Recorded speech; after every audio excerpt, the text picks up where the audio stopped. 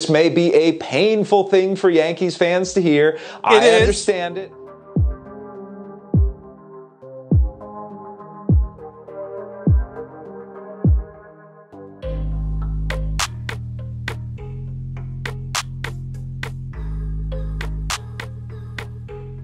But, but the fact is, especially if the Mets don't win a championship this year, especially if Jacob DeGrom leaves and they have a big hole in their budget that they would love to fill with a six foot seven, 280 pound man child who can roam center field if Brandon Nimmo leaves in free agency too, who can roam right field, who can hit bombs at Citi Field. I mean, everything lines up there for that to be the play for Aaron Judge to leverage the Yankees if in fact it gets to the point where he feels like that exclusive negotiating period at the beginning of free agency isn't going the way that he wants. First of all, I think that with this guy Cohen, I mean, he's obviously got deep pockets and what have you. To me, whether he, it, you know, with Degrom or not, uh, the bottom line is is that he could get he could keep Degrom and still come after Aaron Judge. He doesn't care. Yes, that's the kind absolutely. of impression that he gives, absolutely. right? So that's a so that's a that's a fear number one. Number number two, if you got Degrom and you got Scherzer and then you get an extra bat in the Mets lineup, Lord have mercy, that's a problem. Number three, number three,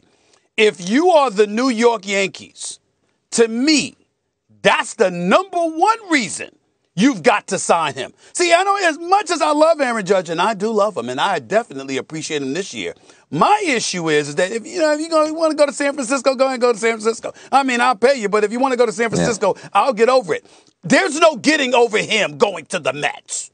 There's no getting over. Right. You can't have a Yankee going over to the Mets. I mean, Robinson Cano it. Who cares? He went to Seattle first, but who cares? He was done by that time. I care about that. But you can't have Aaron Judge, fresh off of this season, leaving the Bronx to go to Queens.